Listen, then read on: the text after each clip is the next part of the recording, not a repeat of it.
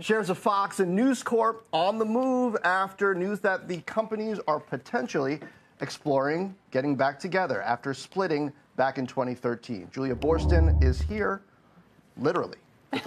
I'm here, Welcome. not my avatar in the flesh. It's great to be here, guys. And what's old is new again in media. Nearly a decade after splitting up his assets, Rupert Murdoch is working to recombine them, not dissimilar to CBS and Viacom's recombination into the company we now call Paramount. Now, since Fox sold its entertainment assets to Disney, Fox Corp's most valuable pieces are Fox News and Fox Sports. It has, of course, Sunday football. Fox Broadcasting has struggled to launch some new hits, and it doesn't have a streaming service, instead, relying on free ad supported Tubi. Now, News Corp's digital subscription business and its digital real estate division have grown faster than expected. And as Fox Corp and News Corp have both established special board committees, they are now evaluating potential financial terms for a deal. It is likely to be an all stock deal. Fox's market cap is around $16 billion. That stock is down 21% year to date, while News Corp is down 26%. That's a hair more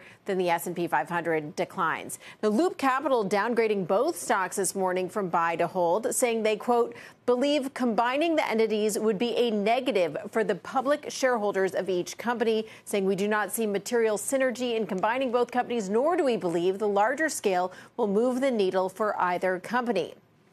Credit Suisse downgrading Fox to neutral as well, noting that Fox is increasingly facing challenges, including growing advertising recession risk and cord cutting accelerating. Also noting that the merger would not resolve Fox's need for greater video streaming scale. But recombining the two would allow for cost cutting on corporate expenses and for better cross promotion across the platforms. But those synergies may not address the fact that both companies are trading at lower valuations relative to their peers, to the larger streaming players. Guys?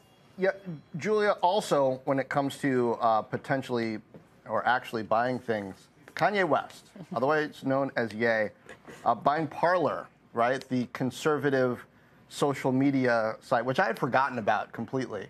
Um, is this? That's the point, right? You had forgotten about it until Kanye West gets involved. I mean, you know, Jay Z bought, you know, uh, a music streaming site you know, it, that, this that is different. I would not. Spotify I would not compare. I would not compare the two. This is very different. This is. Well, I don't think Jack Dorsey is going to step in and buy out Parler.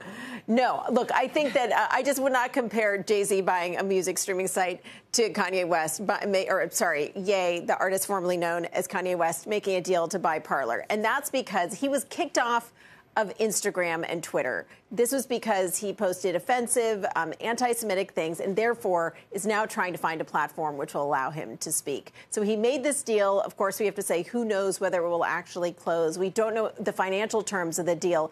But the fact is, you did forget about it because we haven't talked about it that much since it was swept into this controversy about January 6th and what role it may have played in enabling mm-hmm. people to coordinate uh, storming the Capitol. So I think that's the real question here. Will it really happen?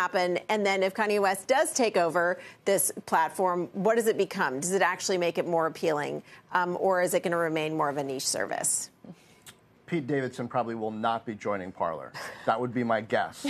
of all the things that we don't know about, that I feel like I know. Good prediction. Yeah.